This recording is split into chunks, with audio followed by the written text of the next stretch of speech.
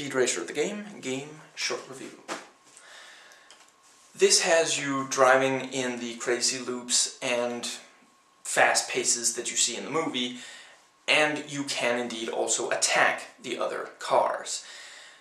The game is licensed, so it is a bit cheaply thrown together, and it does not have as many opportunities as it could, but it is a pretty decent package for what it is.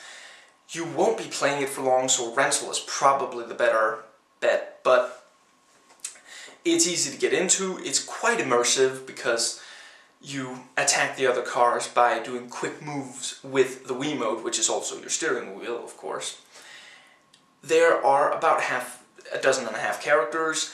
There are only five racetracks, but all of them have different ways to drive through them, clockwise and counterclockwise, and three different lengths. The game itself goes very fast, and it is almost always intense, and you can almost always go from being in the lead to at the very back end, or vice versa, in the course of a single lap.